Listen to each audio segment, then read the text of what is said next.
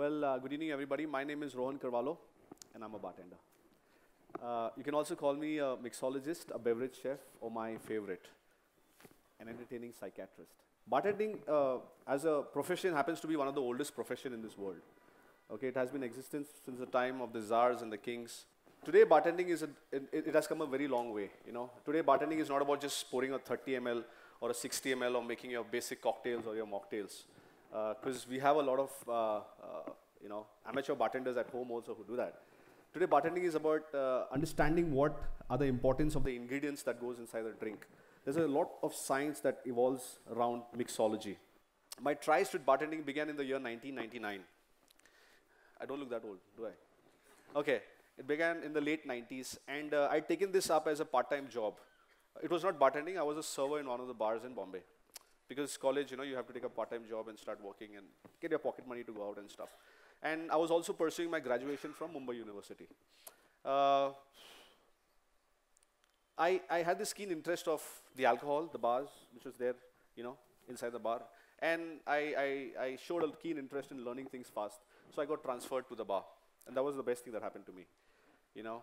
Um, every day was like a different experience. Every shift that we worked was like an adventure.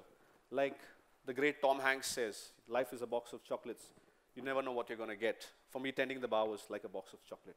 You know, uh, there was so much to learn. There was so much. There, there's a lot of things to learn when you meet so many different people from different backgrounds, races, uh, uh, you know, from different uh, uh, different offices, whatever they come. So I would like to share a couple of my uh, learnings, what I've learned from all of this. You know, like there are when you enter a bar. How many of you all go to bars over here?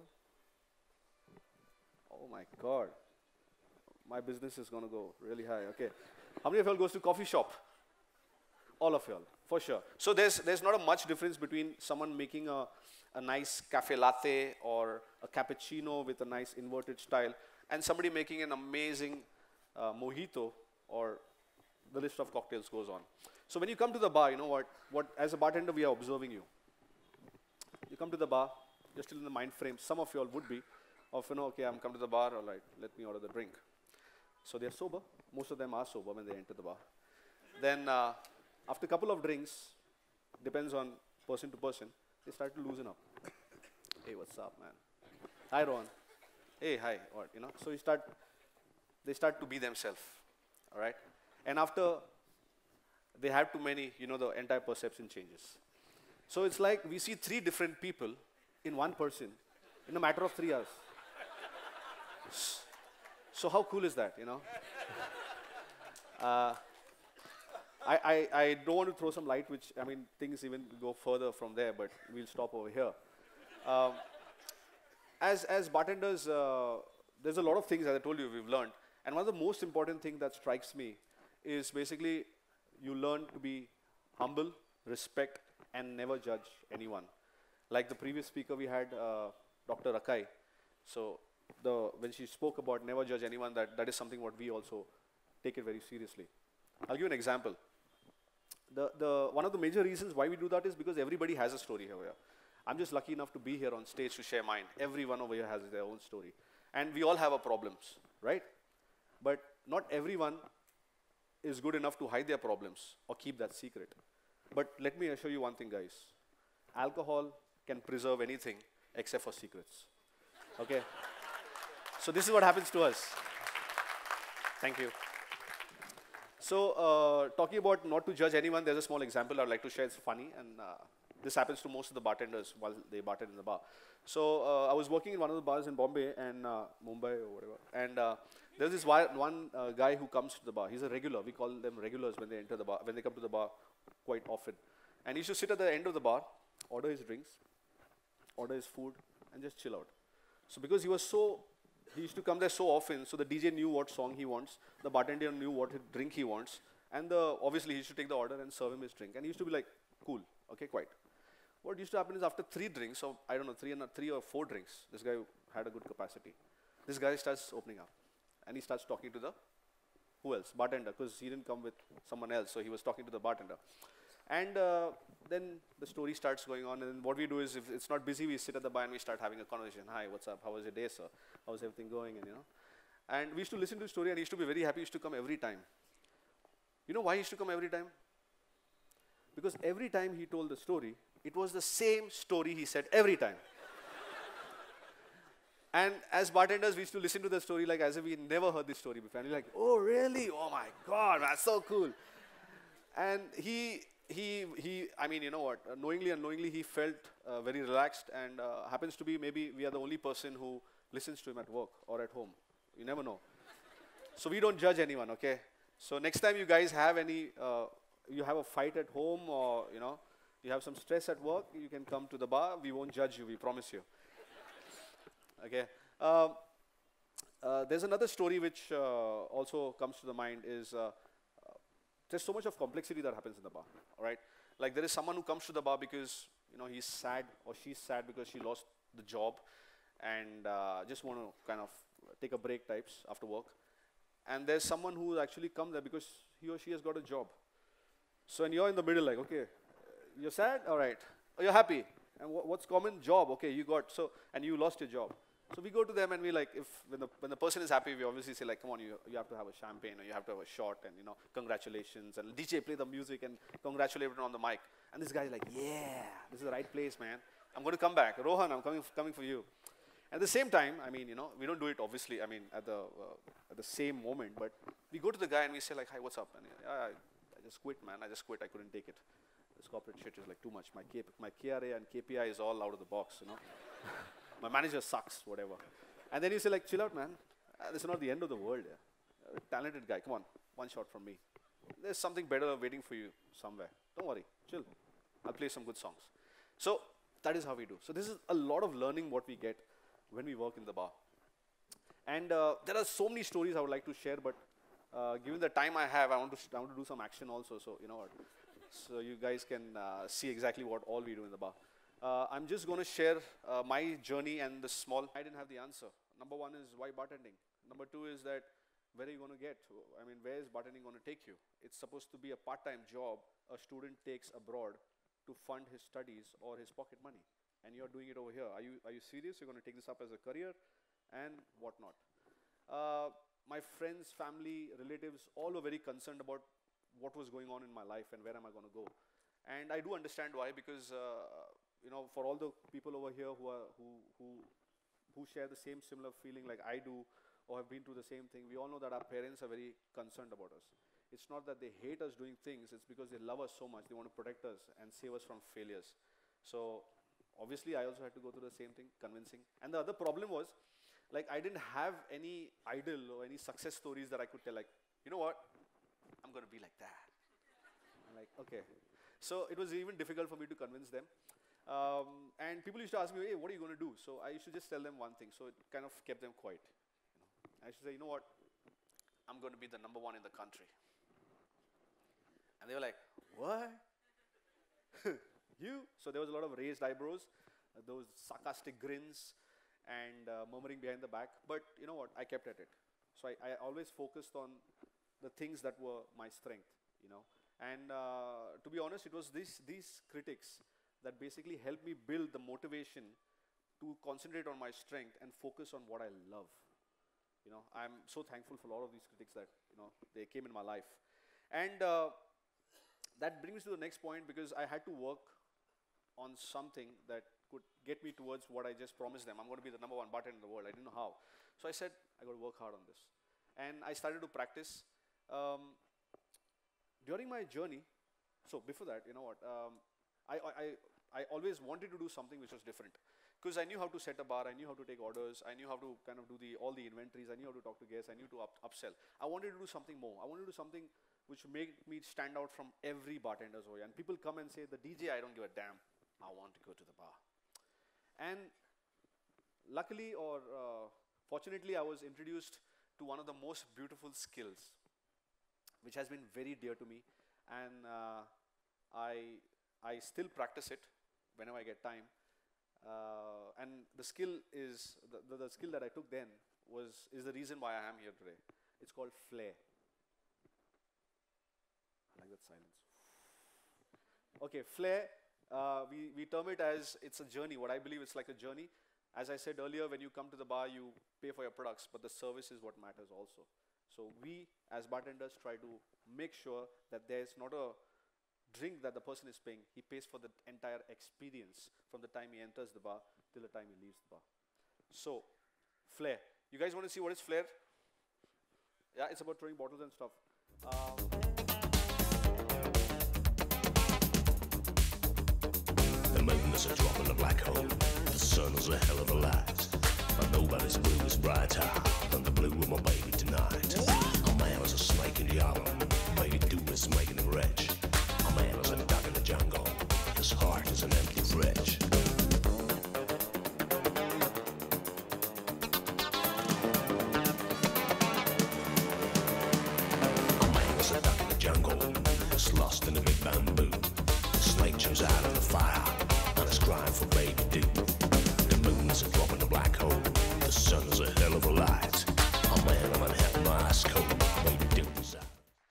this was what I started off with, but today the level has gone like.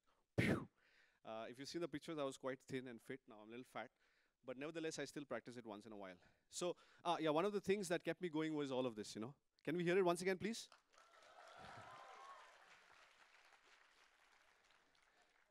Reality check. During my time, there was no uh, school or there was no institute that could teach this art. And there was no internet, obviously, in the 80s. There's no internet, no Facebook, no Insta, no mobiles, XYZ. And uh, again, when I used to throw bottles then, uh, everybody used to think like, what is he doing? I asked for a whiskey and soda or a bottle uchhal rahe or whatever. Eh, And I said, no, I'm going to give you a good service and stuff. And people were like, oh no, this is not what we want. So, but still, that, that the, the entire love for flair did not go down. Uh, so what I used to do is I used to take bottles from uh, my bar, put it in the bag, go home, lock myself in the room, play some music, and start throwing bottles. And I broke many bottles. I've lost count of the number of bottles I broke so far. So this didn't go down well with my family, and uh, they said like, okay, this guy's crazy. Like uh, our previous speaker Nidhi. So what is that? Satkela. So I was almost on the same lines, Satkela. And uh, at the uh, at, at the bar also, the bar manager also said like, Rohan, we don't need this.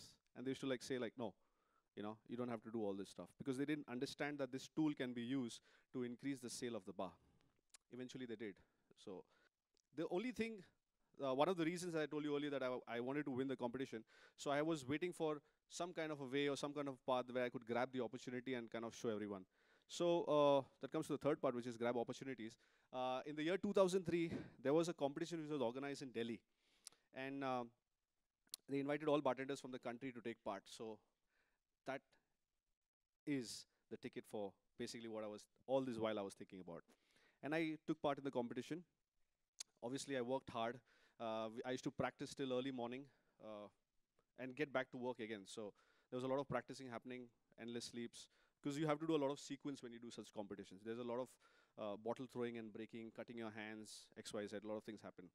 And uh, yeah, I was just staying focused. And on 23rd August 2003, my dream came true when they crowned me the winner of that competition. Woo! Okay. Any guesses? Who am I from there? None of them. Okay. The, the center guy is me. All right. So uh, I won this competition, and uh, overnight my uh, uh, my life changed because everyone was looking at me as like, oh, he's the champion now. I'm like, am I the champion? Seriously? Okay. I didn't realize it till the people who actually was tell me like you can't do anything. They started to call me and say, hey, you know what? We're proud of you. We knew you're going to make it. I'm like, yeah, seriously. And uh, yeah, then you know there was some media coverage and all those stuff. So you know things were really cool.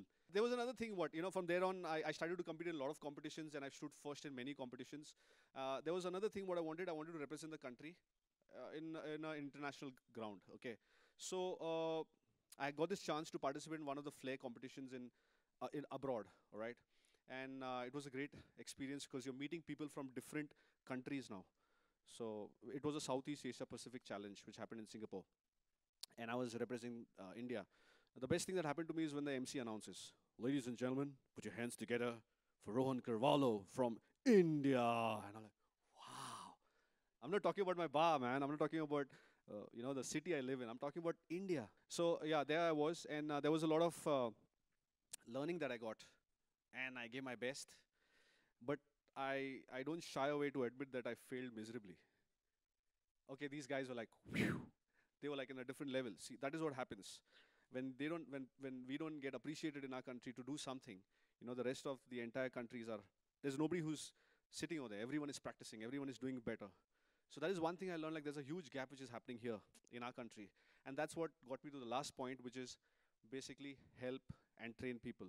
So I come back to India, and uh, uh, I thought that there will be a lot of people like me who share the same passion, who has the same fire in them. But you know, their ways are their, their ways also wouldn't be that easy the same way that I came. So I said, I'm going to do something to help, inspire, motivate, train, teach, do seminars and stuff and all, and so that I help such people like who has the same dream like me. And uh, we are very proud to say that we've trained more than uh, 1,000 bartenders so far, and still counting. Thank you. And uh, it's it's very good when you know your student calls you from abroad and says like, you know what, I'm doing really good. This is the picture. Thank you so much. So that's what inspires them, and you know that's what keeps us going on to build this craft up. All right. Uh, this is uh, yeah. I also did some uh, stuff abroad, so uh, we are like the first guys to go to Cannes to bartend in the Cannes Film Festival. Uh, friends, I just want to share one thing. Like most of the speakers, they have challenged the odds and they've come where they are today. You know, there's always going to be difficulties in life. There's always going to be challenges and hurdles in life if you focus on what you want, if you focus on your goals and your dreams, everything falls into place. You know, sometimes it's good to take a risk for a dream that no one can see except for you. And don't let anyone limit your dream. With that, I would like to uh, commemorate this opportunity I've been given by TEDx by making a cocktail.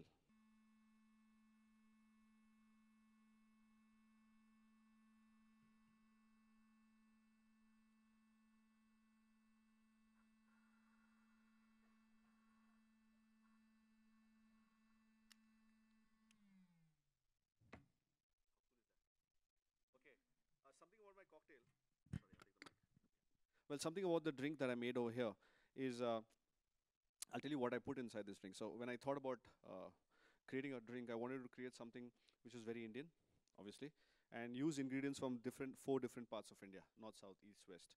So the first part, which comes, is obviously north. And uh, what is more famous in north than apple and saffron, right?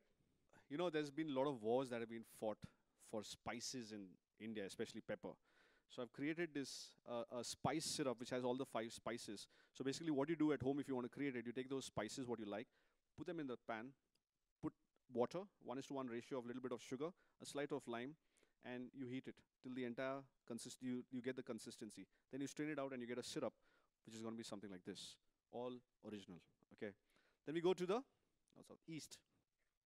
In the east, I would like to take you to the hills of Assam you know, where you get the most beautiful teas. And uh, one of the teas which one of my friend introduced me sometime, sometime back was the Kaziranga version of the tea from Assam. So I've made this decoction, which is uh, a reduction of the tea from Assam. And last but not the least, West. So there so much things to talk about West, like the vada pavs and stuff. I'm like, okay, let's not talk about that. So uh, I've chosen Nagpur, which you get one of the best santras, orange. It's a, it's a normal orange juice. And to sum it up, obviously you need a base, which is going to be the alcohol. So I'm using uh, a spirit which is made in India, obviously, with the sugarcane grown from our country. All right, coming back to the cocktail. Uh, when the inspiration for this cocktail came to me when I was called to speak at TEDx. And one of the major points that you have to understand is it's about the bright idea, you know, an idea that can kind of motivate, inspire some people. So when I thought about it, I know I had this cloud of doubts. And how am I going to get that idea? And to get that idea, you have to think out of the box, right? Right or wrong, yeah? So what I did was I thought out of the box and I cleared the cloud of doubts. And I got my bright idea.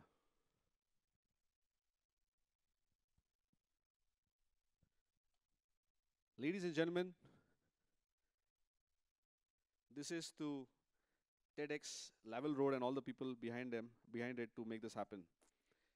Cheers to the bright idea.